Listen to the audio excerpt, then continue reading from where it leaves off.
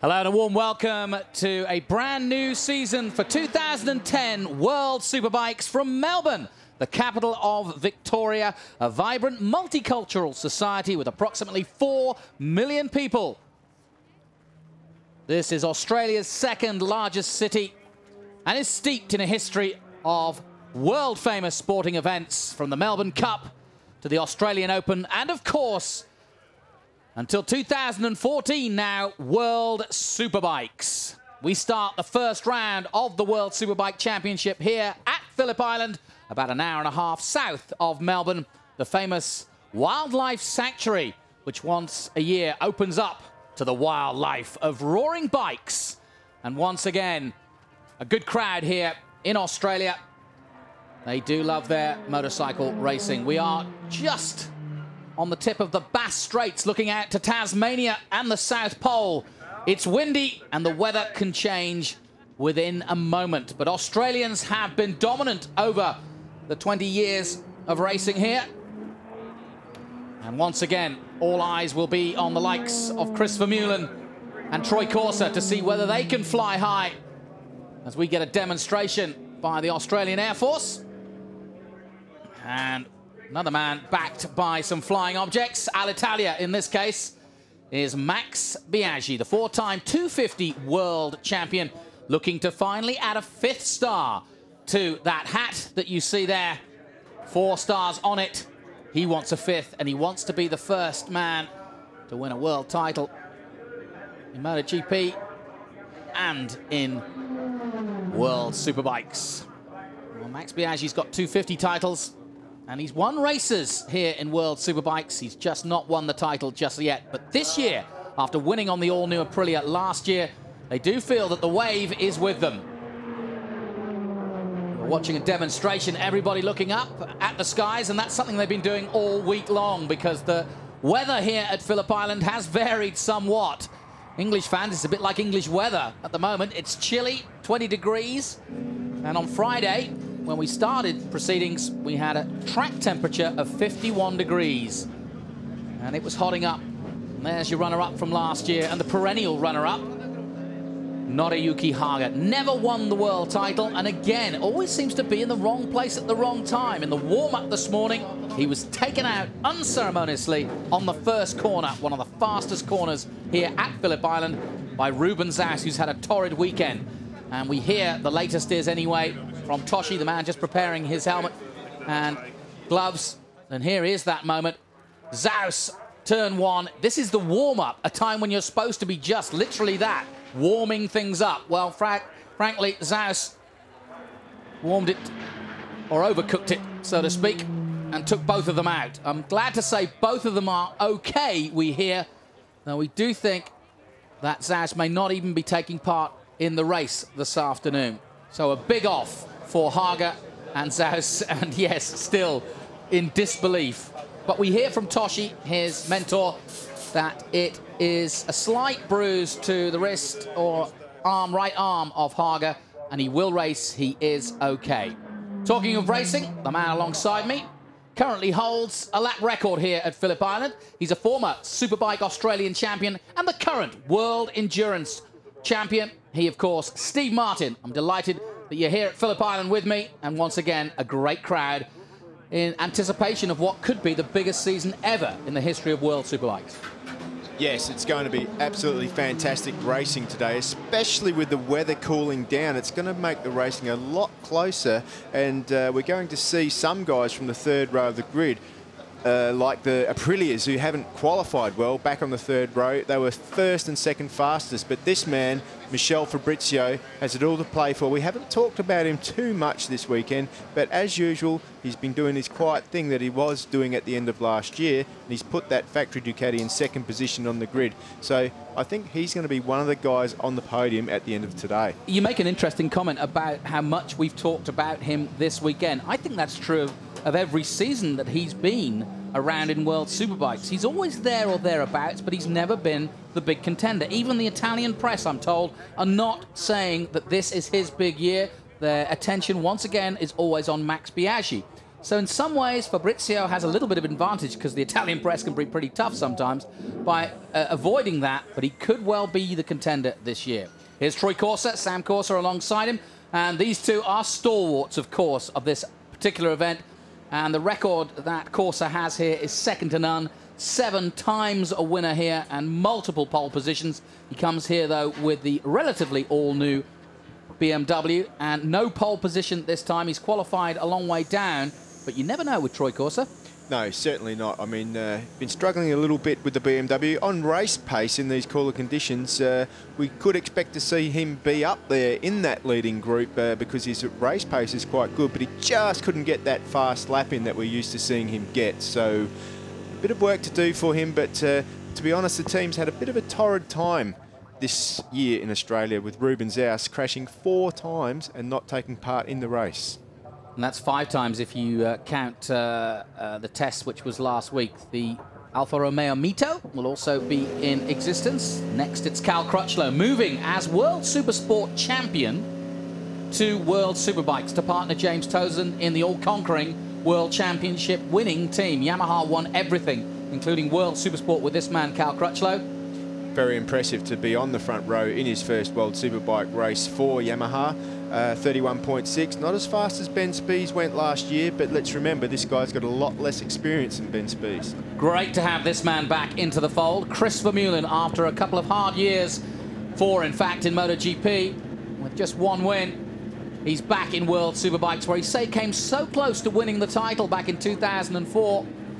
And he's got another chance to do it here in the next couple of years. He's got a two-year deal with his Kawasaki team and a brand new bike coming out in 2011. Qualified on the fourth row, not really where he wanted to be, but uh, a lot faster than Kawasaki have been in a long time. We have to remember that this field is so, so close. Even the fourth row is virtually only about a second off the front row pace. So, and um, Steve, um, I said it at the top, this, this is one of the, possibly one of the most competitive seasons we've ever had. There are so many former winners and so many potential world champions amongst this group? I think, honestly, even if uh, Haga or Corser or Haslam get a double here today, that is not going to set the scene for the rest of the championship. I think it's going to come down to who can get the most out of their tyres in the second half of the race. And that's definitely going to be the case here today with these guys because they're all pretty good in the first half of the race.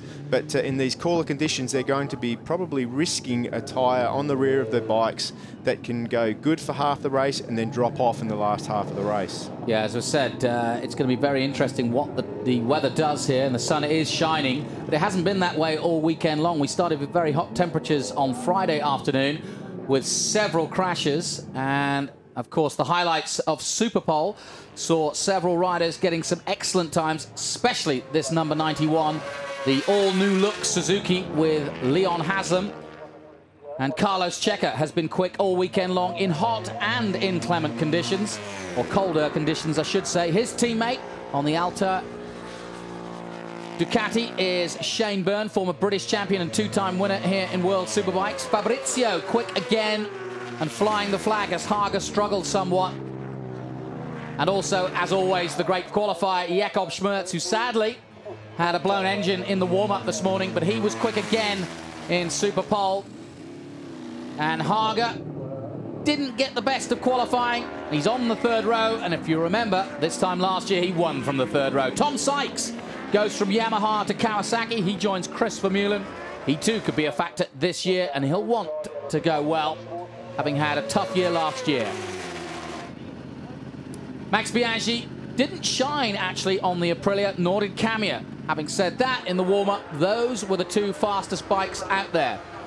And Ruben Xaus, well, not a lot to be said in positive for Ruben this weekend. He's been off, and so too has Leon Camier. A little off there at Honda corner, but okay. But all eyes were on the other Englishman, number 91, Anne Haslam, and his fiancée Ollie crossing their fingers as Leon Haslam was quite superb, frankly, throughout the qualifying sessions. And in the end, not even two-time world champion James Toseland joining Yamaha for the first time and attempting to become the first rider to win on three different marques. Cal Crutchlow put in some decent laps towards the end. They've had chatter problems But in the end, it was all Leon Haslam taking his first ever pole position.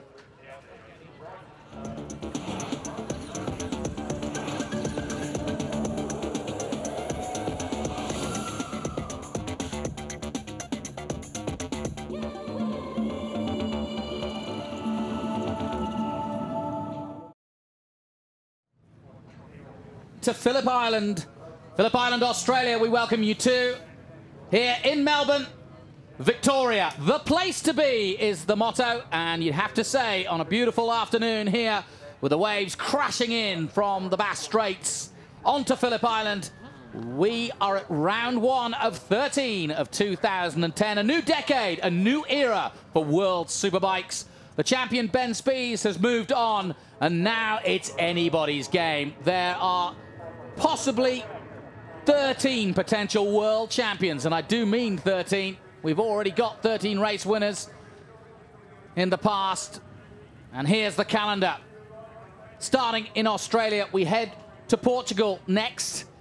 And we are once again four continents with trips to Kyalami, South Africa, Salt Lake City in the USA. We head back to Silverstone, the famous home of British motorsport in Great Britain for August. And we end in the traditional Champagne, Loire Valley, Magny-Cours in France. That's in October. That seems a long, long way away from what we have in front of us here at Phillip Island.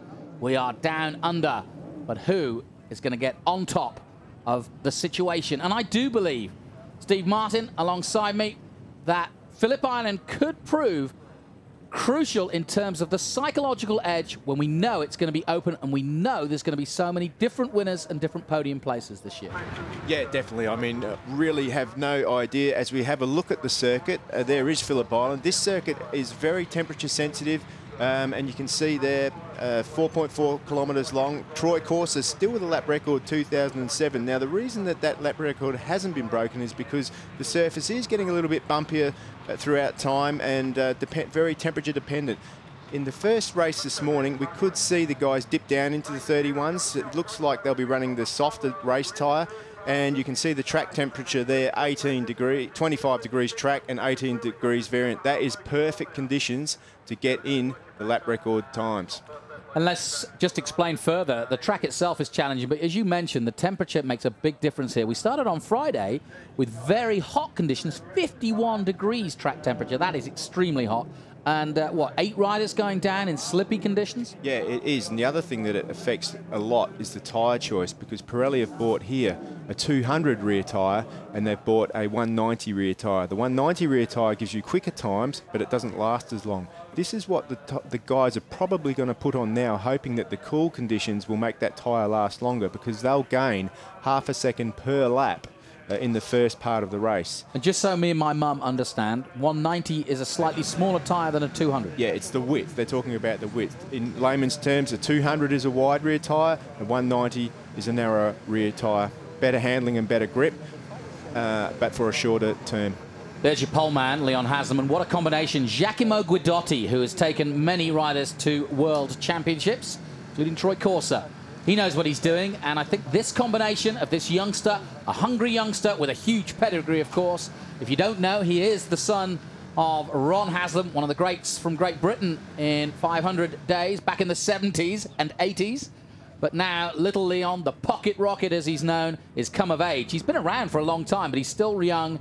But this is his first factory, and he's turned it into his first pole position. Bodes well, doesn't it? Three laps for him in Super Pole, all of them 31.5. Now, just in case you were wondering, that's not the new 1198. that's just the starter motor. No, that yeah, that, there's Fabrizio. He's just um, taking a bit of time out, just chilling. We haven't spoken a lot about him, but he's kept his nose clean throughout practice. Was a faller, had a fall on Friday, but uh, not as serious as the one his teammate Naruki Haga had this morning. There is the 1198. How much has it changed? Not much. Not a lot. There's not a lot that can do Ducati can do to that uh, bike. It's pretty much on the limit. They've uh, upped the suspension a little bit. It's already got the same electronics package as the MotoGP bike of Casey Stoner, so not a lot left that they can do except hope to bring out a new model. Yes, well, the old model, that is Troy Bayliss, will be testing it. He was here this weekend. He is here this weekend, so I guess that's an advantage. There you go. Choice of champions, and uh, he's got his. What is he? What is he eating there, Cal Crutchlow? It would definitely be some sort of sports supplement just to give him a, a, last sugary buzz as he gets off the line. Great job by Cal to get that bike on the front row in his first superbike race for Yamaha. We're used to seeing him on the front row and if not in pole position in super sport, but to come into this field at Phillip Island and do that in, in virtually what is only his second race meeting at Phillip Island ever, uh, fantastic job by him.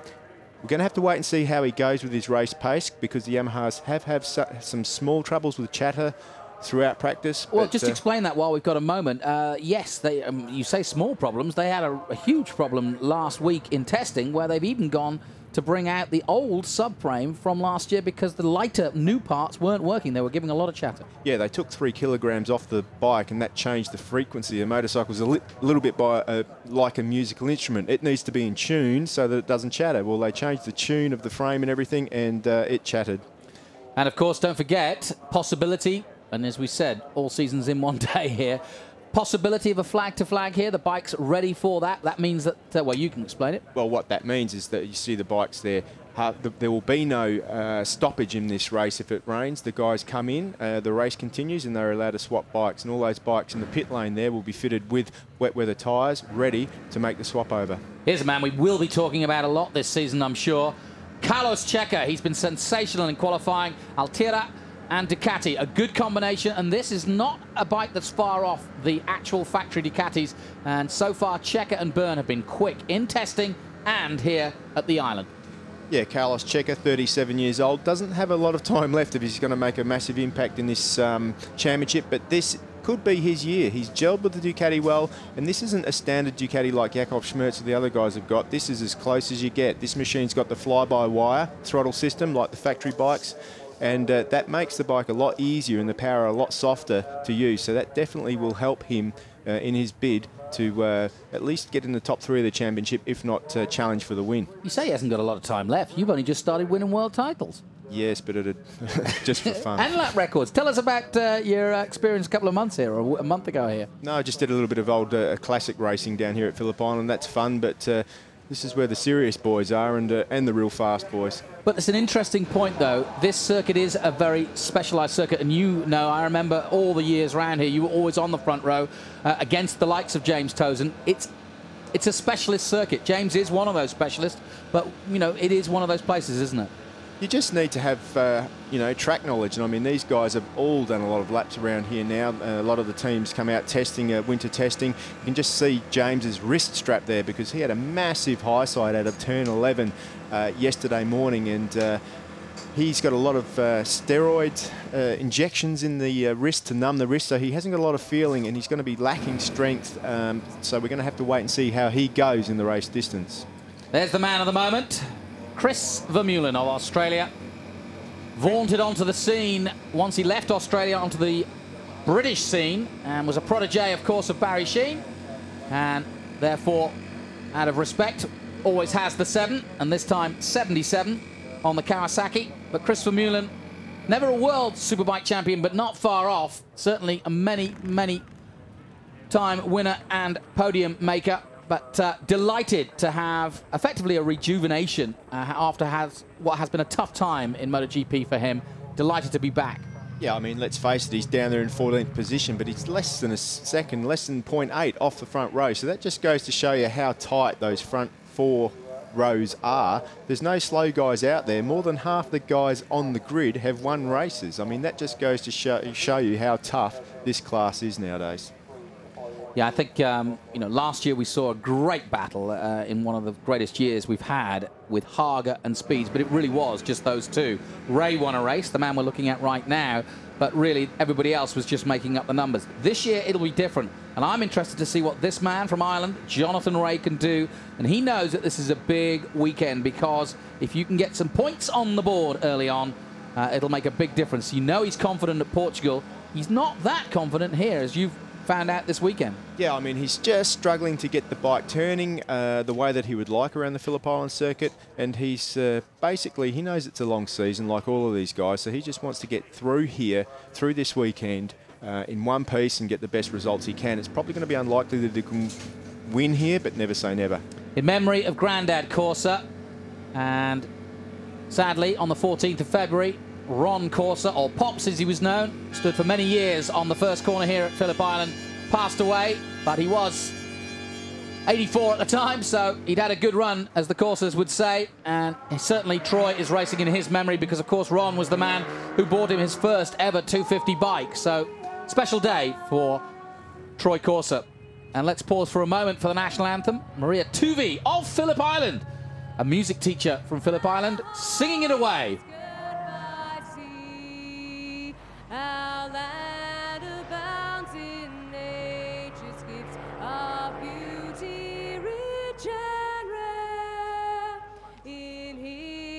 Page, let every stage advance. Australia fair. In joyful strains and let us sing. Advance Australia fair. Beautiful rendition of the national anthem and Australian sports fans are some of the most fervent in the world, and they love all forms of sport, whether it's tennis, football, Aussie rules football, or the Olympics, where they've been doing pretty good there too. But motorcycle racing and motorsport is king, certainly today here at the island, as it always has been. And this is definitely, he may not be an Aussie, but he's certainly one of the favourites amongst the crowd. He is, of course, Massimiliano Biaggi, the Roman Emperor. Now will he finally reign? He had a rotten time here a couple of years ago uh, when we thought actually his chances of becoming world champion was strong, but he got taken out and hurt his wrist on the first corner, and it pretty much put paid to his whole season, didn't yeah, it? Yeah, yeah, I mean, he was strong that whole season, but uh, had a lot of bad luck. Um, starting in the 11th position here, if you remember, it was actually the fact that uh, he had a failure in Superpole with his bike. He started on the fourth row of the grid, which caused that all to happen because he was running pace similar to Bayliss. So he certainly is fast around here, and he proved that in the morning warm-up fastest in the morning warm-up this morning. So expect to see him up the front because the conditions now are similar to they were in the morning warm-up. Just about everybody on the grid going with the softer rear tyre that uh, will give some really good lap times and then it's going to be who will be able to manage the life of the rear tyre from halfway through the race. And good to see the Infront team doing their bit. Julian Thomas and Marco, we wish them well. Both croc, as they say here in Australia, but uh, sadly not able to be at the event. And we wish them a speedy recovery from all of us and in front and involved in the World Superbike family. And it is a family. It is indeed that. And we've all come down to Australia. And we all want to see if this man, Leon Haslam, can finally do it. His fiance getting married next year, in fact, in the background there, Ollie. And she is nervous. I had a, speak, I had a chat with her this morning, and her and Leon's mum, Anne, who you think wouldn't be nervous having seen and been through Ron's whole career, but she's even more nervous now. It's a little boy. Yeah, I mean, he's got it all to play for now. He's had a great, uh, I mean, you'd have to say he's the favourite for the race. I mean, he's qualified well. Uh, when it's hot, he's fast, and when it's cold, he's fast. So all he has to do now is put all the pieces together, and he should get his first World Superbike win. But as we know, it doesn't always work that way. Sylvain Guintoli, the Frenchman, we haven't mentioned him yet. He, of course, teammate too Leon Haslam, and this is his first year in World Superbikes, rode in MotoGP and, of course, the British Championship, but unfortunately broke his leg early on last year and wasn't able to show his true potential. He was actually buying Leon Haslam beers last night because he got towed around by Leon Haslam to put that bike on fifth position, got his best lap behind Leon Haslam, so I'm sure that he was quite thankful for that. Mate, I don't know if he was. In the modern age of these guys, do they buy each other beers or is it a coffee or a latte? Well, maybe a latte on Saturday night. Camier, another man that was fast in the morning warm-up, second fastest, and I had a look at his run. Uh, he did that time on a tyre with about 10 laps on it, so uh, that could lead to some good results today also. Yeah, the Jewson-sponsored Leon Camier, the British champion. Really looking forward to see what he can do on the Aprilia. I wouldn't have thought when I first arrived that uh, the Aprilia seemingly designed for Biaggi. Here's the grid. Haslam, Fabrizio, Crutchlow and Checa. But Camier has been quick on that Aprilia. Guintoli, Smrz, Johnny Rea and, John, uh, and James Toseland make out the second row. Third row, Lansy Haga, Biaggi and Sykes. Sykes moving to Kawasaki after being with Yamaha last year. Troy Corser, Chris Vermeulen, the two Aussies next to each other. There's Leon Camier on the fourth row. Shane Byrne on the fifth row. Andrew Pitt returning World Super Sport Champion, is back in World Superbikes. He is on a privateer BMW. We'll tell you more about that a little bit later. Ruben Xaus not taking part in the race. He's had four big crashes and big offs in the last few days, and I think perhaps best to rest it up. Let's take a look at this Phillip Island circuit with an absolute expert. We are honoured to have Steve Martin here. He knows it backwards. You started racing here almost, didn't you? Pretty much, um, yes. There's a lot of overtaking opportunities here, and the, the whole name of the game is to get away into the, with the leading group. If you lose the leading group here, you're going to get yourself into all sorts of trouble. So with these tyres, only going to be able to last about half race distance before they start to spin up. The name of the game will be to stay in the front group and use the least amount of rear tyre as possible so that later on in the race you're going to be able to go for the, the win and push when you need to. How much variance is there in the Pirellis that they've got? Well, pretty much. Everyone's gone for the soft, softer, riskier tyre. The uh, the 200, which is going to give better pace at the end of the race, uh, is a little bit slower at the start. And uh, as we know, it this place here, slipstreaming is part of the, the duel and the game. So you need to be in this front group that we're going to see to uh, make the advantage of it at the end of the race. It's interesting you say that because after the warm-up we spoke to Leon Haslam and he said he thought that the smaller tyre, not the 200, would be the one he would go for. Yeah, and that's what everyone has gone for. They've pretty much all gone for the 190 rear tyre, which gotcha. is the, the, less wide. And what that does is it makes the bike more manoeuvrable. Um, the compound that that's in is a little bit more grip, but the life isn't quite as long as the bigger, wider 200 tyre, which gives you more contact patch, a bit like a car with a wide tyre on. It's got more grip than a car with a narrow tyre. We welcome viewers around the world from Sky Sports in New Zealand, Fox Sports here in Australia, all the way around the world, Mnet in South Africa, wherever you're watching from Speed in the USA. You join us at Phillip Island for a start of a brand new season of World Superbike Racing. Jonathan Green and Steve Martin bringing you the action here. A packed crowd as always here at Phillip Island. We're about to go racing again in a brand new decade. Who's going to win the championship? Well, you tell us keep an eye on Leon Haslam off the line. The Suzuki, normally a rocket, but so is the Ducati of Fabrizio too. Wouldn't be surprised to see him into turn one first. Leon Haslam in his first pole position with a brand new bike and a brand new team. Can he get his first ever World Superbike victory? Away they go! 2010 kicks off. Haslam gets away well. So too does Carlos Checa though. Haga's up there too. Look at Haga. Haga, you can't hold him back, and he slots into third place. Haslam. Just about. Fabrizio Has takes second, and Haslam's just hanging on to the lead. Yeah, Haslam, good ride by him. Went right round the outside. The Ducati's got into the corner first, but he managed to uh, get round. You can see there, there's Vermeulen up there too. Chris Vermeulen gets a good start. There's Cal Crutchlow 35. Checa's number seven. There's Corser. Corser's got away well too. He's in the top eight. Yeah, good good start by Corser. Haslam, Fabrizio, Haga and Rea. Good start from Jonathan Rea, but Haga sensational from the third row. Biaggi. is in seventh. Biaggi way back at the moment in eighth position. Vermeulen up to ninth, Toseland is tenth and still hanging on to that left wrist, which is giving him a lot of jip, and he's got injections in it for the pain. Jonathan Rea got a good start up into fourth position at the moment too. That's exactly where he needs to be. Up towards the famous Hayshed for the first time. Haslam went off there in practice yesterday, but he's okay this time, but he's got two ominous Dukes behind him as he heads up Lukey Heights, named after the man who helped develop this circuit back in the 60s. I think if Haslam can just get a bit of a, a, break on these guys and just get his head down, um, he might be able to um, stay in front and set the pace. He's not going to want to make it too fast, but he's not going to want to have 20 guys on his tail. He wants to get that group down to about four guys. It's about four at the moment. The long, long run to the last corner here. Swan corner. There's Tom Sykes in the middle of the field. First lap completed. Haslam. This is ideal for these guys as well because the last thing you want is an Aprilia in this top group if you're one of these guys because the Aprilia, the absolute fastest machine out there at the moment, 320 k's an hour the other day. Haga passes his teammate Fabrizio and you can't hold a good man down, can you? Knocked off by Xaus in the warm-up and almost 300 k's an hour got a slight uh, damage to his wrist and his uh, right arm, but he's in second place and chasing hard now on Leon Haslam, who's pulling away at the front just slightly with 21 to go. Yeah, Suzuki looking very smooth at the moment too. You can just see Johnny Rea using a lot more road in the background there. Honda corner, he's on a Honda.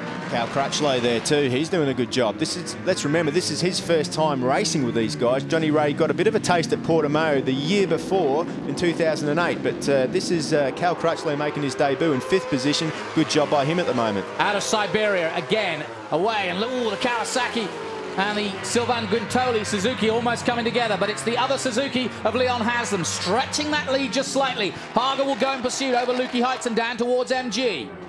Suzuki looking good here. It's uh, not moving around a lot, that's for sure. So very good to see. And Steve, after all the crashes we've had on the lead up to this, a very clean start. Yeah, it is a very clean start, but there's a lot of hurt boys out there, that's for sure. Especially Shakey Byrne, guys like Shakey Byrne, James Toseland. Crashed again in the warm-up, did Shane? Yeah, I mean, there's there's a lot of sore bodies out there, and they'll be looking forward to tonight and a month off.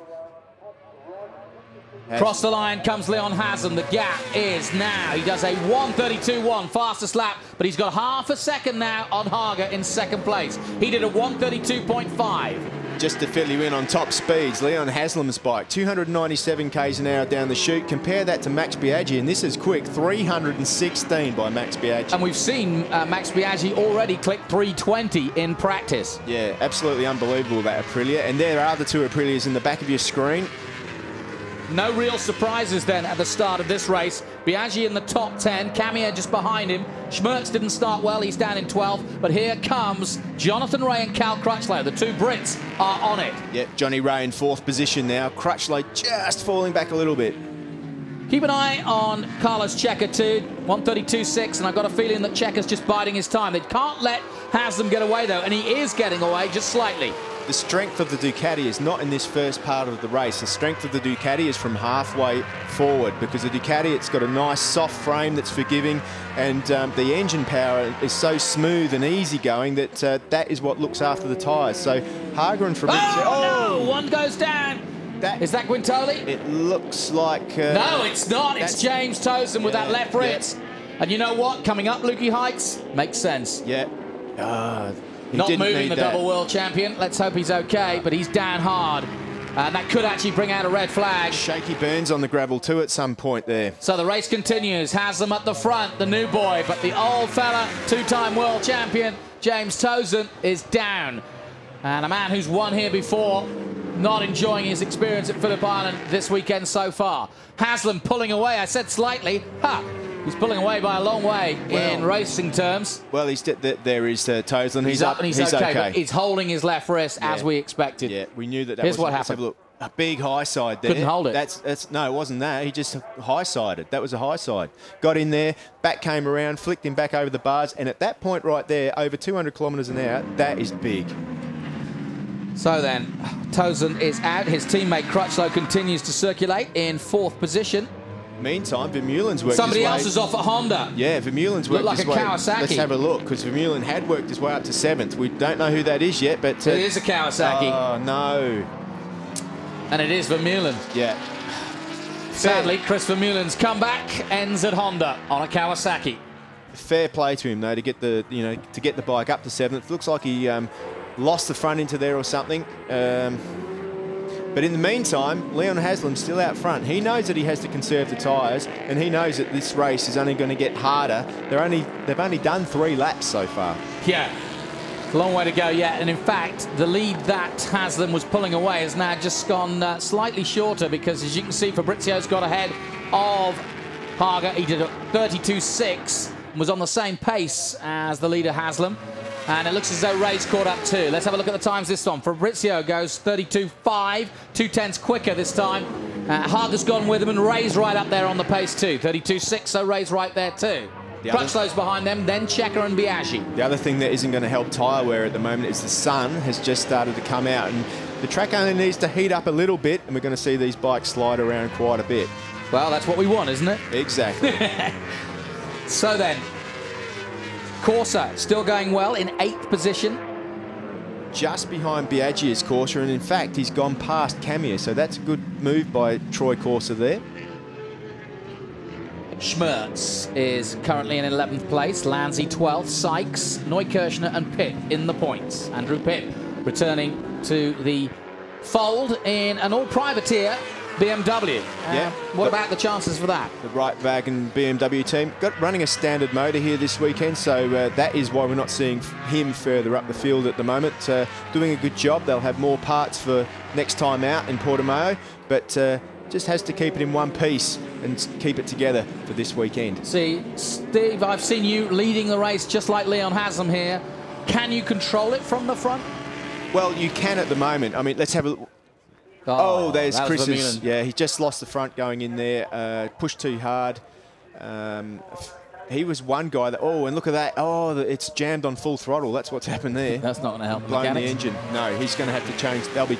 They'll get that back as soon as possible. Put a new engine in for race two. But uh, yeah, that's what happens when you don't have a, uh, a, a, a, lean. There used to be, there used to be a rule where if the bike fell over, it had a cut-off switch. They don't have that rule anymore. And uh, there you go, one engine, bang. Haga going bang, 132.4, very quick indeed, and he was the quickest man that time out, but they're all within a tenth of each other, and as you can see, the gap has not changed dramatically. Rea hanging in there in fourth place, but now he's got the attention of Crutchlow and Checa. Yeah, I mean, Haslam's doing the right thing at the moment. He's probably riding at about 99%, and he's got a little... Oh, there goes Crutchlow Both into Honda. the Yamahas are out it's not been an easy test, it's not been an easy run-up, and now both riders are out of the proceedings of race one. Well, ironically, this happened to Ben Spies. He was knocked out of race one last year on this bike and came back and won. So let's hope that uh, Tozen and Crutchlow will be back. What happened this time? Identical problem, just a little bit later in the corner tips in, bang, loses the front. Uh, most of these guys running a softer front tyre than what they have been all through practice because of the conditions. Uh, but now with the sun out on the circuit, perhaps uh, that soft tyre just not working as well as it can, especially on a Yamaha, which is a little bit front heavy. The factory Ducatis almost identical to where they were last year. Slight change to the exhaust system. They've got a new sponsor in Tim, the mobile phone, but that's about it. And once again, Fabrizio and Haga are right where they need to be. Out goes the board for Haslam. Give him the indication of exactly where he is, and all he knows is he can't make a mistake because two of the greatest riders in the world and one of the greatest bikes is right behind him. If he wants that first victory, he's going to have to work for it. Fabrizio, fastest last time, 132.3. Yeah, what you've got, you've got that front group of three guys in the mid-32s from 32.3 to 32.5. The rest of the field well, the next eight guys at least lapping in 32 high. So those three guys are starting to pull away from the group behind them, from Johnny Rea, Checa and Biaggi. Checa, yeah, almost two seconds to Johnny Rea there. Yeah, but look at Checa now. He's really pulled up the gap and closed down on Johnny Rea. Later on in the race, uh, he's definitely going to make an attack at Johnny Rea. And look at Biaggi in sixth place. Some three seconds off the lead, but not far off the group he's chasing, and that's Checa and Rea. Out of Siberia, flip-flop, left to right, up through the gears, the hay shed, the famous hay shed. Talk to the marshals on that corner. They love it being there because the car, the bikes come straight towards them and they are ready right there with that big gravel trap. Over Lukey Heights where James Tozer went down. Down to MG, hard on the anchors. Corser fell here a few years ago. Not this time though, he's up there in ninth position. Out of turn 11, spinning up the rear wheels if the traction control will let you yeah, the idea is here, don't spin that wheel up too much just yet, but you can just see Checa's bike starting to move around a little bit, and uh, he doesn't have quite the same traction control as the factory bike, and that is why his bike looks a little bit more ragged. Another lap completed. This the first race of the 2010 season. Victoria, the place to be, and that in Melbourne we are for round one. A fitting place, one of the most challenging circuits of all. Anything can happen with the weather, and the setup is crucial. Checa right now will be trying to find a place where he can safely make a way past. He's definitely caught him up, and look at him, he's fast on the gas, and that is another advantage of the Ducati. There is Guintoli. Yep, right behind uh, Leon Camier in the second Aprilia. Guintoli's last lap, a 133.0. In fact, Smrz behind him, 32.7. So Smrz, one of the fastest men on the track right now, and that's the battle you're watching. Smrz in the background there with the red helmet on the white bike, number 96. Yeah, it's good to see him up in that leading group too, because he has got a name of being a good little qualifier, but uh, as a racer, uh, he hasn't really put the qualifying results um, to the fore. So good to see him up in this group. Now, if anything, Haslam has lost that dominant lead he had because Fabrizio has carved his way through it. That's okay for the moment, though. That is okay. What he needs to do, yeah, you can see that it's come down the gap now, 0.3. But what he has done is he's made that leading group a group of three. So now what he needs to do is conserve himself and save himself. We're only seven laps of 22, 15 laps to go. Best thing he can do now is conserve, perhaps maybe even let Fabrizio lead the race or Haga lead the race because the Suzuki is going to use the tyres up a little bit more than those Ducatis. I don't know how you can conserve anything at 300 kilometres an hour, but there you go. Well, what you, you, it doesn't take much. You've only got to just back off just one or two tenths per lap and uh, it can really save the tyres. Well, the Ducatis are coming and coming fast as we head out of two again. Hard part of the circuit this because you hit the wind just as you come out of that corner and now you're taking the full force of it from right to left. Yeah, it does really make a difference on this circuit what way the wind is uh, blowing. At some places it can blow you off the track, uh, in some places it blows you on. So you just have to be aware of which way, which direction the wind is blowing. As Johnny Rea has now got a freight train behind him. Yeah, and uh, he's got some real challenges too. Big stars of this sport, Carlos Checa and Max Biaggi. In theory, it would be interesting to see where Max Biaggi makes his move. And there is the gap from uh, Checa to Biaggi. It's come down dramatically. I said Biaggi was coming. His last lap at 132.8, but you can see over the last few laps just how much he's caught up. So the Aprilia now on song. Yeah, I mean, he's, he's about half a second a lap quicker than those guys in front. He needs to be a little bit closer coming out of... Uh, MG corner here through turn 11 and onto turn 12 with the top speed advantage that he's got 316 kilometres last time through. He's 16 k's an hour quicker than the two guys in front so it's going to be really interesting to see if he can put that into a pass down the straight. Here we go then. Another lap completed. Let's take a look at the gap. Haslam still leads as he has all race long. 32.6 Fabrizio 0.3 behind. Haga's there with him but they are a long way ahead. Biaggi, not quite no, see, he loses it out of turn 12 and then has to use all that speed to catch up to him. Um, Checa very good into turn one. Biaggi wide on the exit of turn one. You know, Biaggi was fastest in the warm-up. He did a 132.1 and he's on that kind of pace now. 133.83 the last lap, but he's been there in the 132s. Yeah, well, now that he's caught up to those guys, he's got to try and find the way past. So uh, he won't be doing the lap times that he needs to do. And sometimes when you get caught up with guys like that, it can just break that rhythm and you get stuck with them. There's another group of three behind him as Checa goes up the inside at Honda corner. Good move by Checa. Nice smart move there by Carlos Checa, but, but uh, pays the compliment back. Johnny Rea says, oh, wee man, I'm yeah. not having that. Thank you very much. Johnny Rea, as aggressive as you like, and now definitely, although still young, a vetted and uh, mature rider at still a very young age, and he's not going to be intimidated by the likes of Carlos Checa. Yeah, he's certainly going to have to fight for this fourth place because he's got Checa and Biaggi right on his rear wheel at the moment. Checa looking up the inside again, but can't do it there. So there's the gap, 1.7 down and 1.6, not much between those two. No, you've definitely got two groups, three groups of three at the moment. And here's your leader again, and how how long before those Ducatis are going to make a challenge, you well, think? Look how smooth Haslam is. He's really doing a good job. He's uh, maintaining the pace out front, uh, quicker than most guys on the circuit. I mean, the front group, they're all in 32.8. The next group, 33.6. So the group two have lost a second in that last lap on the leading group of three. So this here, if these three guys finish, in my opinion, these are going to be your podium guys. And when we spoke to Leon Haslam, he knew all the parameters this morning and he Biaggi, wasn't at all worried. Biaggi made a move. Nice move on Checa. Out of turn two. Out now turn three, goes in pursuit now of Rea. So here comes the Aprilia. Yeah, Biaggi is on a, a little bit of a charge. Uh, he's got past Checa now up into fifth position and Rea's the next man in his sights. Checa up the inside of Honda, doesn't do it this time, but he stays in there with Biaggi. Yeah. Race one, World Superbikes 2010. Biaggi gets his bike a little bit loose on the exit of that corner, but to be fair, the bikes are not moving around very much at all at the moment. Out of Siberia they come. Through the gearbox and flat out through here. Full gas through the hay shed. Up the hill towards Lukey Heights. Checa got good mid-corner speed there. If he just goes around, you can just see him starting to come around the outside, but no, he's not going to make a move. Always a risky move there, but if it, on the last lap, you might try it. Yeah. This is where Jonathan Rea gets a good run. He gets a good run up and out of there, uh, into turn 12 and seems to pull a little bit of ground on Biaggi, and Biaggi has trouble to get past him on the straight there.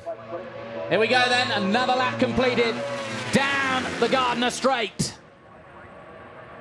So you might think that these guys are just sitting on their bikes doing nothing, but they've got all sorts of controls. And there goes Biaggi up the inside, but not this time. Not quite. Not, these guys just aren't sitting on their bikes. They've got all sorts of things they can adjust while they're riding around. They can adjust their engine braking, they can adjust their traction control settings. Um, there's all sorts of things that they can do, and it's all on the left-hand side of the handlebar uh, to give them more traction control, less traction control. Um, not linked back to the pits, though it's up to the rider individually but to having, uh, change what they want. But having been to the Ron Haslam Race School, I know that it's just race hard, and that's what Leon's doing.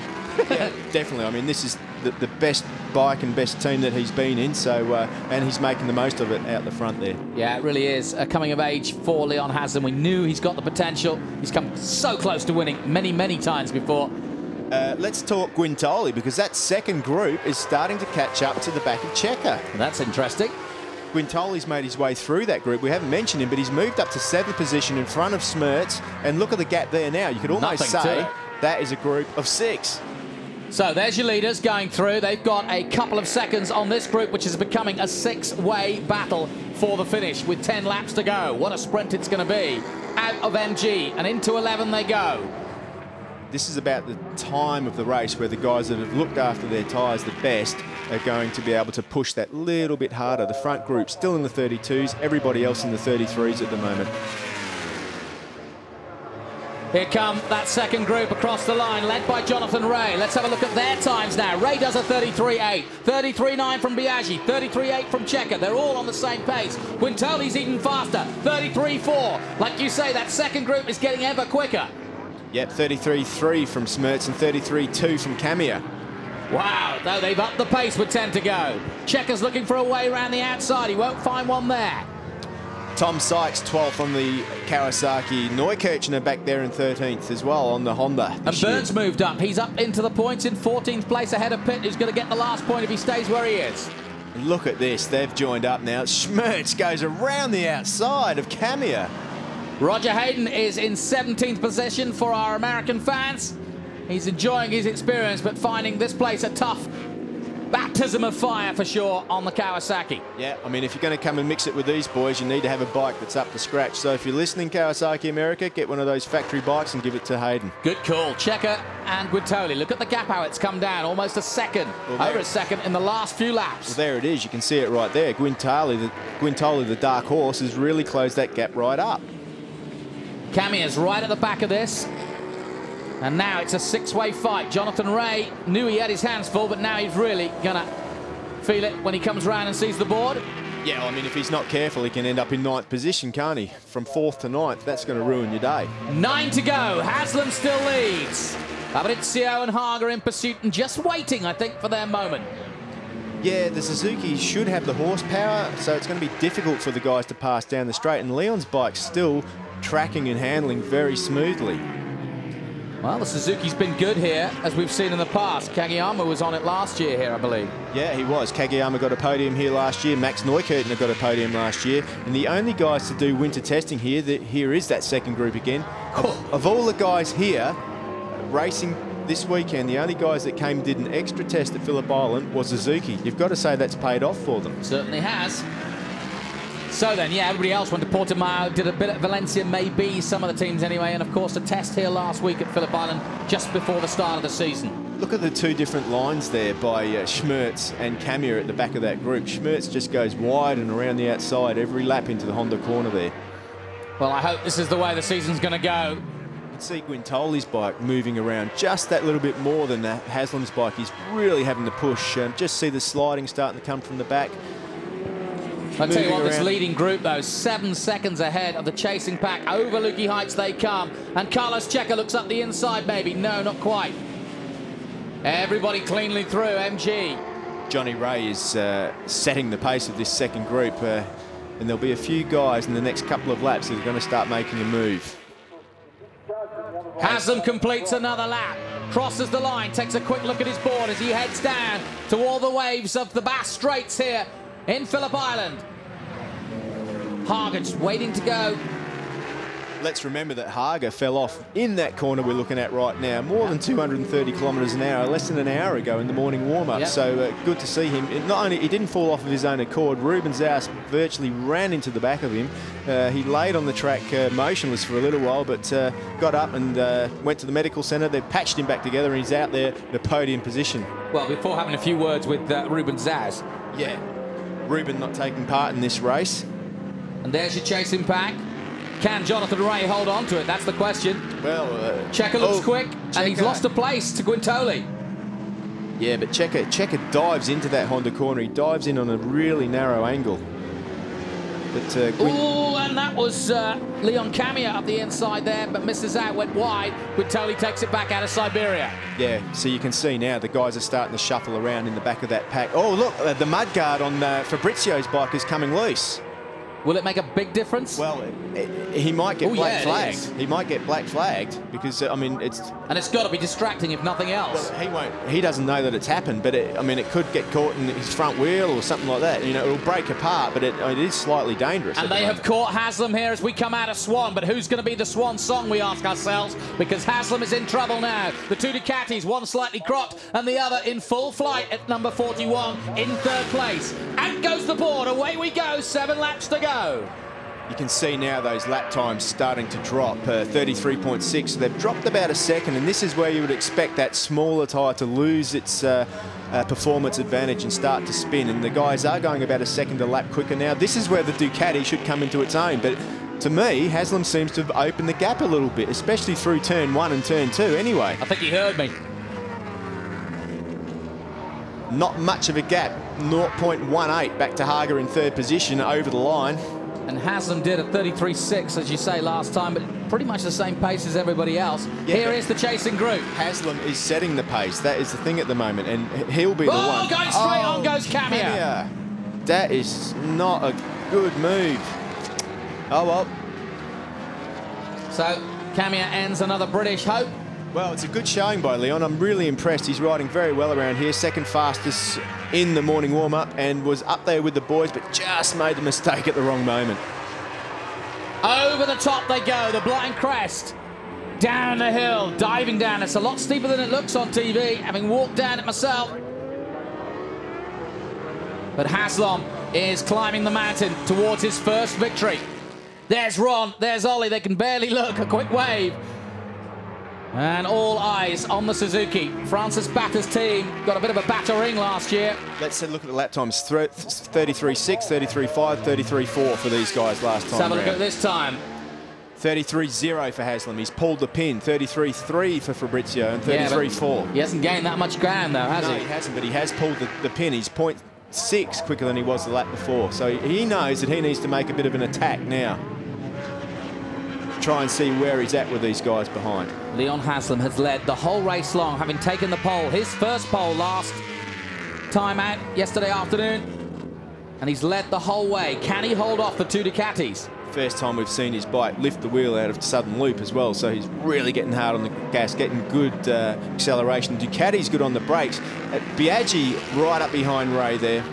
Steve, how different with a lighter uh, fuel load and with the tyres going off does the bike feel to control now in this stage of the race? Well, it definitely affects the handling of the machine, that's for sure, and that's what the guys do. They'll start testing with a full tank and uh, they try and test the bike in the race conditions they're going to be in. So with used tyres, you want a low fuel tank. And one of the big modifications Suzuki have done this year compared to last year is they've changed the weight distri- distribution and put the fuel tank of Leon's bike in the middle of the bike. So they've actually taken weight off the front end and put a li- little bit more weight on the rear end. The reason they've done that is to try and get better rear weight distribution and better tyre wear, and it seems to be working here today. Nervous moments for the Ducati team. That's Fabrizio's team watching on. His wife sits in his corner, so to speak. And uh, they all look rather nervous as we complete another lap with five to go now. Sun shining here, but still cloudy weather here in Melbourne, Australia. Yep, the Ducati boys have responded to that. Uh, Leon 33.5 that time round, 33.4 and 33.3, so Ducati can keep up that pace. Rea, Guintoli and Smrz now. That's the group, but look at this. Biaggi now gets past Rea, and Biaggi's making a move. Rea is ready to it and almost comes alongside. Yeah, if there's a tough guy out there, it's Jonathan Rea. I won't expect that he'll sit there. He's going to make an attack back as soon as he can. He can't afford to get caught up in this uh, battle, or otherwise he's going to end up at the back of the pack and could end up as far back as eighth. I saw an interview with Kevin Magee, of course a two-time winner here for Yamaha back in the day, and he had an interview with Biaggi, and Biaggi quite... Uh, quite smilingly said, if they want it tough, I'll give it them tough. If they want it straight, I'll give it them straight. I can race any way you like, and Rea can give him what he likes. Biaggi will give it back. Well, Johnny, now's the time to get tough. well, he knows that all right. Here we go with the leaders then, and I think the red and white boys are about to get tough, flying in formation. Well, Will they stop the Suzuki, we ask ourselves. They've got to make a move now with four to go after this. If you think back to last year, Haga made his attack on the last lap, but uh, last year the Suzuki was moving around a lot more when Neukirchner was riding it. They've done a lot of work, they've done their homework, they've changed a few different things, different, completely different setup of the bike, and uh, it seems to be working very well at the moment still. No problems for that front mudguard though. No, I mean, it, as I said, it's not going to affect Fabrizio. He won't even know that it's hanging off. It's still on there, so uh, there won't be a problem. There is Troy Bayliss, wishing that he was out there, I guess. No, he doesn't. He's happy bicycle racing right now. He's actually going to be testing the bike in uh, a month or two's time, and that'll be an interesting feedback for the whole team. Uh, just a different perspective. Well, he's got a lot of experience on the bike as well. So, uh, and you know, Ducati have got to be starting to think about a new model. Maybe he'll get involved with developing that. To be good to see. Here we go then. Can Leon Haslam create history and take his first ever victory in World Superbikes? He's going to do it in the most pressure cooker of situations if he can hold off the two factory Ducatis. He's ridden Ducati himself back in 2004. Johnny Rea back in front now. He got tough. Look at Smrz's line there. He's so wide into that Honda corner into turn one, and that is where Biaggi seems to be a little bit weak. Last year, the Ducati was, sorry, the, the Aprilia was very strong on the brakes, but into turn one here, uh, not as strong as he'd like it to be. Leon Haslam has ridden superbly so far. He's under immense pressure as he heads over the top and far away. Down he comes, hard on the anchors. He's as smooth as you like. He's and he hasn't put a foot wrong so far. No, he hasn't. He's as smooth as you like. But Fabrizio now is starting to put a little bit of pressure on him. Uh, I saw him getting very close into Honda corner last time around. You can see the Ducati starting to move around now. Haga right on the back wheel as well. There's that mudguard flapping again. Another lap completed out of Swan Corner. Down the hill they come. Up through the gearbox. Over 300k as they pass our commentary position. It's a beautiful sight here in Australia. Flying, Suzuki and Ducati. Race one, round one. Just what we wanted to kick off the season.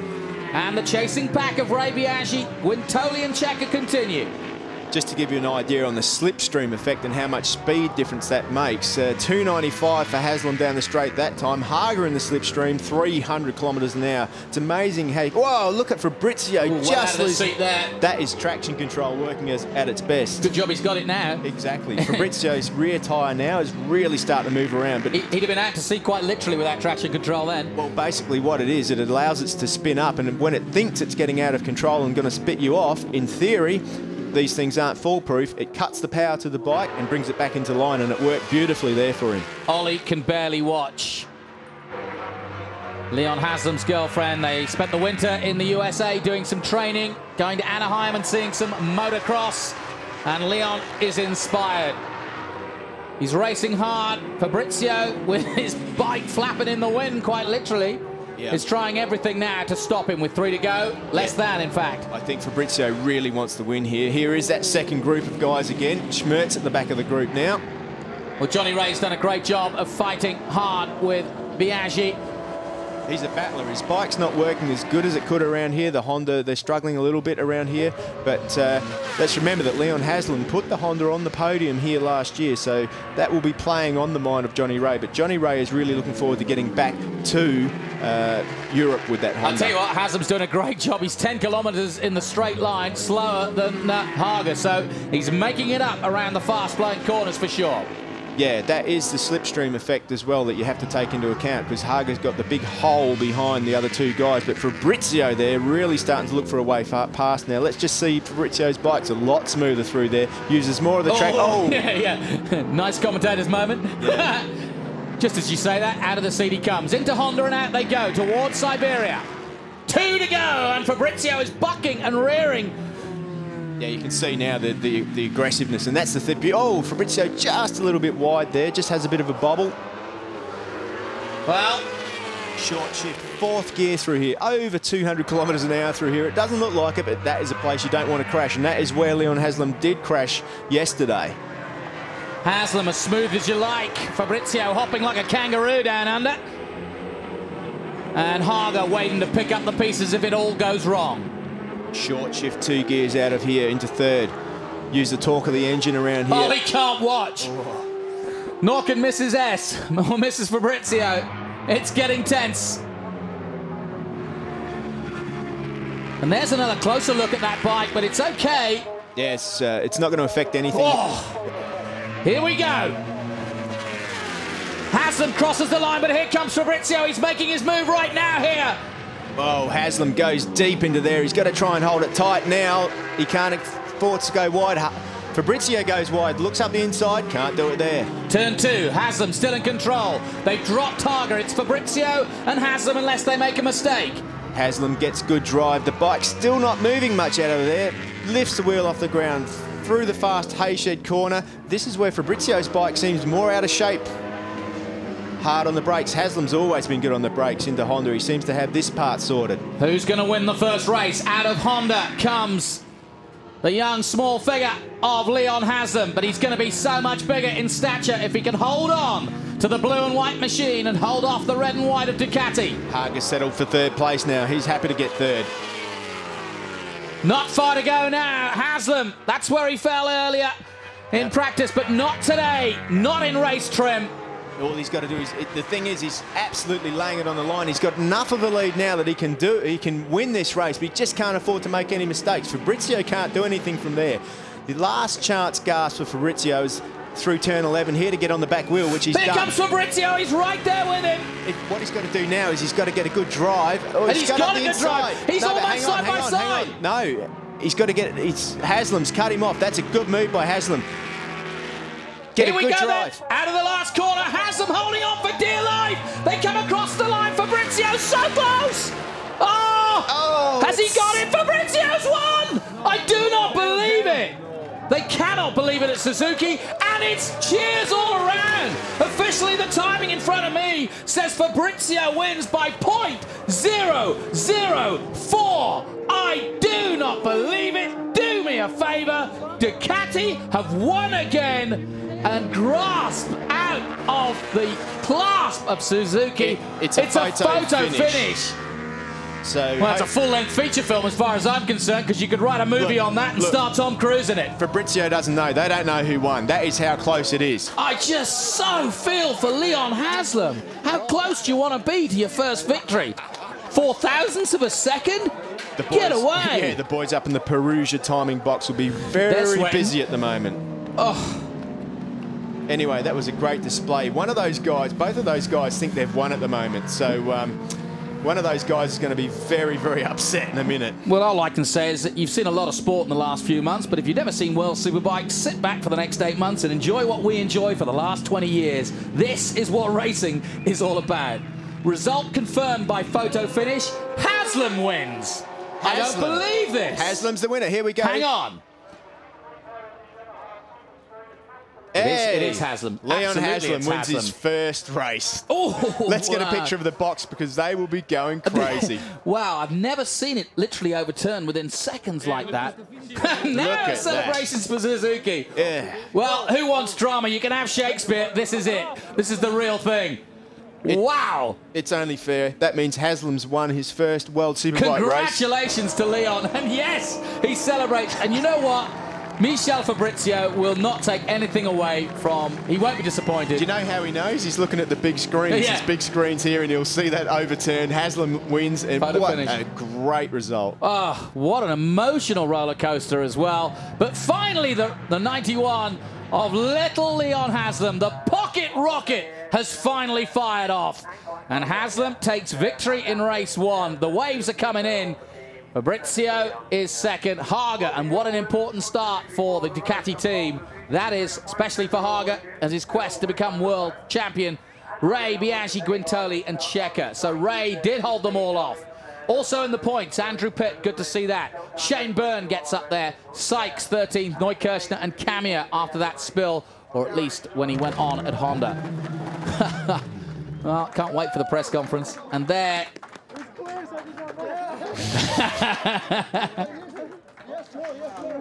he's only going to get better from here because let's remember the amount of starts he's had in his first win. That nervousness is now gone. If he can get through today with two wins, he's going to be strong for the whole year. And we know how well he rides at Portimao too. So uh, if he can get off to two good race meetings. And look, Mum Hat Anne in the background there is just too emotional. She's in tears and she's seen it all before. And I do take my hat off to her because she goes through all of the gamut of emotions throughout each weekend.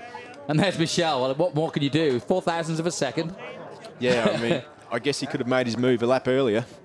yeah, easy for you to say. And there's his trainer, Rock, who's an Aussie, I believe. Yeah. Lives in Monaco. Great, great start to the year. And there's Ron Haslam congratulating his son to the left there. And thumbs up from the two. And they are inseparable, those two. They do a race school together, and they're out almost every day. And uh, Giacomo Guidotti gives him a hug. And look at the relief on the youngster's face. And he controlled that race right up until the last lap where Fabrizio made his move and uh, cracking racing.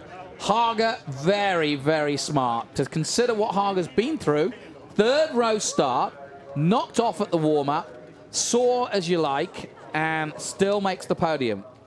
Haga doesn't need to win the race. He knows that uh, this is going to be a very long championship. And uh, after the crash that he had in the morning warm up this morning, smart move by him. He knew that he would have had to use every single thing he had to try and beat those two guys today because those two guys were really, really hungry out front.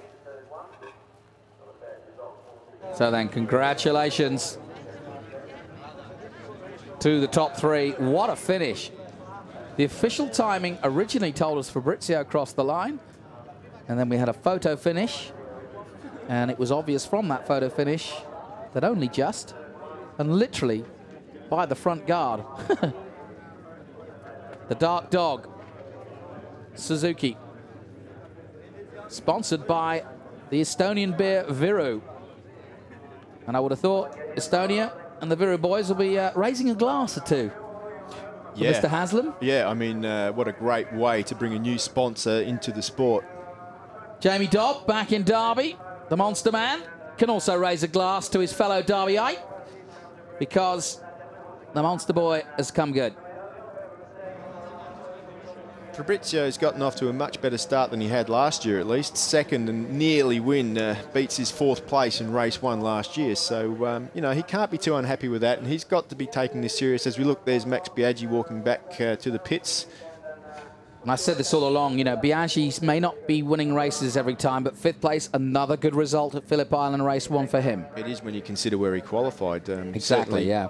You know, he's come way up through the grid. And Guintoli, excellent job too. Yeah, Guintoli, sixth position, fantastic. Carlos Checa, a little bit disappointed.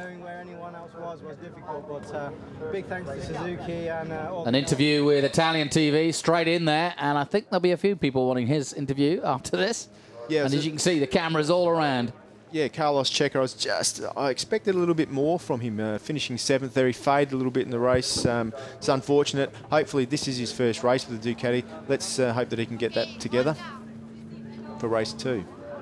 Yeah, and remember, of course, in World Superbikes, two races each day, so it's far from over yet. And uh, conditions changing a great deal yet, Steve? Well, they seem to be pretty stable, but uh, there's a couple of hours until race two. If this cloud blows off, I mean, as we know, here on Friday it was 35 degrees uh, with a track temperature of 50. And um, if it gets to a point where, as we look at the points of the championship, 25 for Haslam for the win, 20 for Fabrizio, Haga 16. Importantly, Max Biaggi doesn't lose too many points, gains 11 points. Uh, Corser with seven points. Camier, five points, could have been more than that. Neukirchner, four. Andrew Pitt gets the last point in 15th position, so good for the new Reitwagen team. Yeah, and in terms of the manufacturers, obviously, Suzuki up there and Ducati likewise. So we could see a good battle between them throughout the season. It's early days yet. We've got a long, long way to go. 13 rounds, two races each. Yeah, re regarding the temperature, sorry, um, if the guys have to change the rear tyre to the 200, which is the wider tyre for the next race, we could see a completely different race take shape. And you do that why? well, if the track temperature, the track temperature now is on the verge of needing to change from the smaller tyre to the wider tyre so you can finish the race. And when you put the It's literally that. yeah, it is like the the, the the tyre they used in this race. This is an example. Will work from 10 degrees track temperature up to 22 degrees tra- track temperature. Then the wider tyre will work from 22 up to 40 degrees. Uh, and if it's around that time, it can be a little bit risky as to which one you get. And I don't think the guys are going to take too much risk. If it heats up over about 20, 25 degrees track temperature, we could see some different tyre choices this afternoon. Well, Paolo Flammini never shows me the script before the season starts, but every year he seems to write a pretty good one, and he's done it again. Four Yeah. thousandths of a second will the, the first race will be won by. Yeah. Unbelievable. You just you just cannot choreograph that sort of stuff. It's pure racing uh, at its finest, and it really is great to see. And it's going to be very interesting to see how Ducati approach it. There's Ron taking the family photos. So we'll send you the video, Ron. Don't worry. Congratulations. Great family moment for the Haslams, who absolutely live and breathe. If you ever want a racing experience, go and have a cup of tea in their motorhome.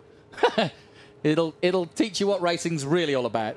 yeah, they're really a good family. Oh, they're great, and uh, you know I can't I can't I'm not happy for anybody else, but Anne Haslam, who has literally since eight o'clock this morning when I first saw her, been just absolutely wrapped in emotion, not knowing whether to sit down, stand up. She couldn't keep still. There she is in the background, still tearful. And uh, what a wonderful moment for this Haslam family. He has been racing, goodness knows how long, but he's certainly been on a bike since he was two or three. Yeah. And uh, he's been in MotoGP, been in World Superbikes, he's been in British Superbikes. His last win, in fact, was in British Superbikes, I think for Honda. Giacomo Guidotti there is crew chief. This Yeah, is, good to uh, see it. A, a long time for him to stand up on the top step of the podium as well. So great start from these guys. Yep, it's been a while. And Guidotti's been a part of Biaggi's success and, of course, his success. His brother, in fact, running the Aprilia team this year. So, family presence. Let's pause for the British anthem.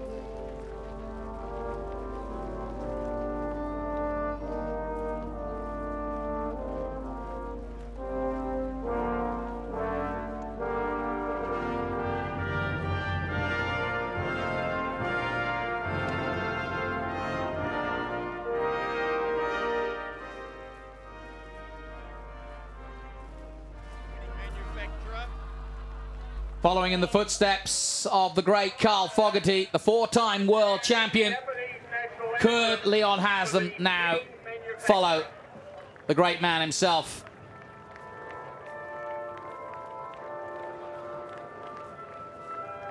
Suzuki celebrating a hard-earned win with the Japanese national anthem.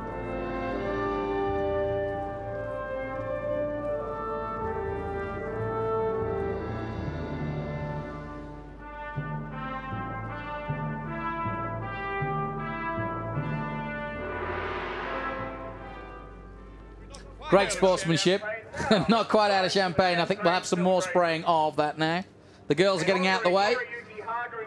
And in a moment we'll hear from the top three. Ollie's eyes are enough for the champagne though. Ron She hasn't can hardly, smiling. yeah. Ron's got the permanent gr- permagrin.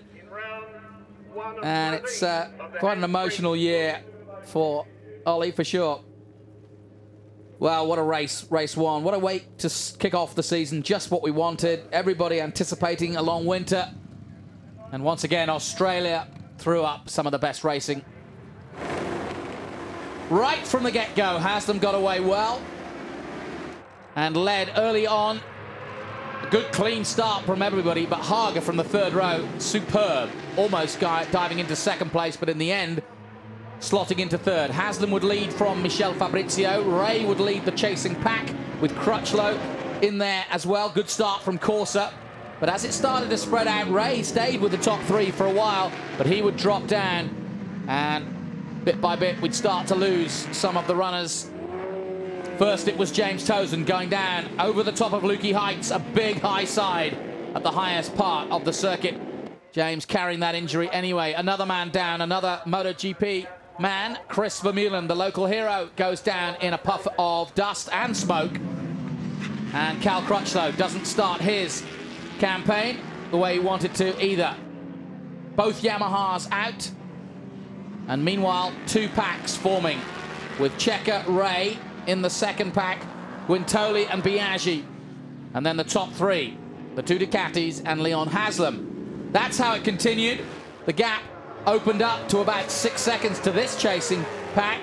And Rea would hold off Biaggi for as long as he possibly could. Camier was part of it until he went sideways and left at Honda. And down into the first corner again. Rea holding off Biaggi and Fabrizio out of shape with the bike flapping in the wind, quite literally, the bodywork. But bit by bit, he would reel in the Englishman and came so close to winning it. Leon Haslam crossing the line, and for a moment we weren't sure whether Fabrizio had got it. He thought he had. It was a photo finish, but you can see it there by literally an inch. Haslam, the pocket rocket, is the winner. Let's go down to Kel Edge with the top three. Nori, uh, first race of the year, third position, third row of the grid, so podium must be quite good feeling. Well, uh, for result, uh, three, third position uh, today uh, very good for me because uh, this morning I had a big crash and uh, I had a big uh, swelling uh, right arm and I taken uh, injection for the painkiller and uh, during the race uh, many time I had to pump up for the arm but uh, uh, I following uh, front of two guys and uh, finally I did uh, third position so uh, consider for championship uh, I make good start for season. You had a good view of the battle up at front. Did you ever think they might uh, take Well- each other out and you could profit? Well, uh, I was uh, enjoy that uh, enjoy battle, battle with them, but uh, you know uh, I have big problem for the pump up uh, right hand and uh, breaking sometimes mistake a little bit. But uh, I li- I was really enjoy uh, with battling with them and uh, I looking for second race more better feeling. Thank you, Nori. Thank you. Over to our second place man by one of the narrowest margins in Superbike history, Michel. You've seen the uh, the video afterwards. It was very close. Yeah. Yesterday, 12 millesimi. Now 4 is a second race, but Four thousandth of a Yeah. second. no, uh, this race is uh, for me fantastic. uh, Very battling uh, Aslam. Uh, maybe for a second race is possible winner. When you crossed the line, did you actually think you had won the race? Ah yeah, uh, my ma- married no girlfriend no Yes. come si dice moglie Wife. wife, my wife. Uh, I look in the video, uh, I winner, but uh, in uh, pit lane you first uh, position, no problem. Okay, better tell luck next time. Thank you, Michel. Leon, you led from start to finish, but you, you left it close at the end. Yeah, it was definitely a hard race, uh, especially with the wind out there, and uh, it's hard to really know who what the pace was going to be and what it was going to drop to. And uh, it was plus zero from lap one to the 22nd lap, and uh, it was I made a little mistake with two corners to go um, to run to the line, and I knew Fabrizio was right there, and uh, like I say, uh, I didn't know if I'd won until halfway around the lap, and uh, I was glad to see that the the boys were celebrating in pit lane, and uh, you know that win's definitely uh, for them and Suzuki, and um, you know they they're the ones that got me on top of that podium. So uh, hopefully we can do the same again in race two. Now, when you approached the last lap, did you actually think the win was possible, or were you really concerned about Michel and even possibly Nori coming back up? Yeah, I felt pretty confident on the braking and passing points. It was just a matter of the slipstream to the line, and uh, yeah, like I say, maybe if I hadn't have uh, made the mistake with two to go, um, we could have held them off a little bit easier. Um, but I was suffering a little bit out of the last turn, and they kept just catching on me down the straight. But uh, you know, bike setup, everything felt good from uh, day one here, and um, you know we've got to take advantage of them opportunities. You know, there's a strong competition out there, and I'm you know I'm really happy to get on that top step. And any wishes for anyone back at the office? Yeah, you know, all, all the guys back there, Francis and Patricia, you know, uh, we wish you was here, and, uh, you know, that one's for you, and uh, thanks for the great opportunity. Thanks a lot, Neil. Cheers, thanks. As always, kind words. Haga happy with third and hopes to go better. Likewise, four thousandths of a second. Could Fabrizio do any more? Well, it was as close as you like, but ever the gentleman, Fabrizio says complimente to his rival, Leon Haslam. And Haslam on the 91 Suzuki machine in his first race for the Alstar team takes victory and sets his stall out for the year ahead. Well done to Leon Haslam. He'll be back for race two, and so will we.